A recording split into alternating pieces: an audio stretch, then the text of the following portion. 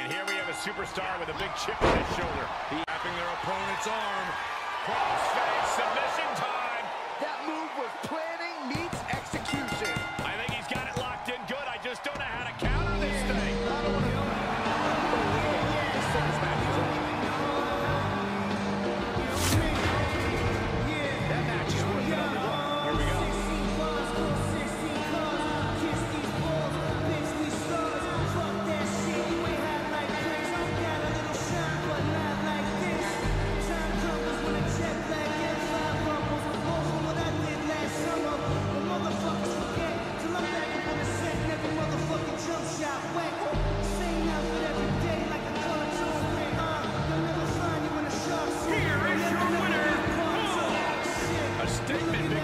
this guy tonight. Definitely a cause for celebration. What an impressive victory.